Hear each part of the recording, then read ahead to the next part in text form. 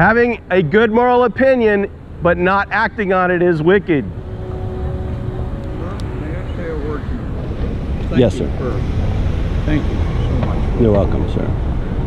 Secondly, that infamous 1973 Yes, sir. decree, Uh I was up in Massachusetts, of all places. Uh huh. where I lived and taught, Yes, sir. and I was one of the first to join a Right to Life organization in Right. the state of Massachusetts. I just want you to know I have been active. That's that is very good. I have, Yeah. and you know we have these Yes, sir. here. Yes. So you're not opposing this. No, not at all. You're not opposing this. You're trying No. to you're trying to get people to act on their theological conviction. Right. If you have a good moral opinion Just but don't Christian. act on it, that's sin. Read Isaiah 1. What does Isaiah 1 say? It says, first of all, be a Christian. Second, act like one. Right. There you go. God bless you, sir. Stand right here. Yeah. I know it's tough.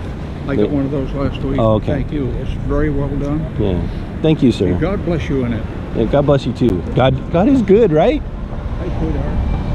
God is good. As my daughter. Yeah.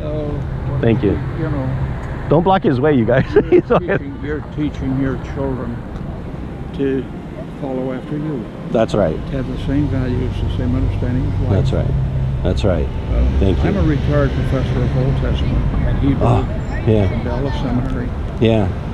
and the scriptures, from beginning to end, show the extreme value of life. Right. Right. I, I agree.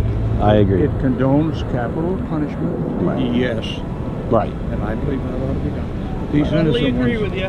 Yeah. Yep. Just so you guys know, your pastor has a good moral opinion, but he does nothing to help make it illegal in Texas. In fact, when a bill comes up to make it illegal in Texas, he doesn't even tell the pew warmers.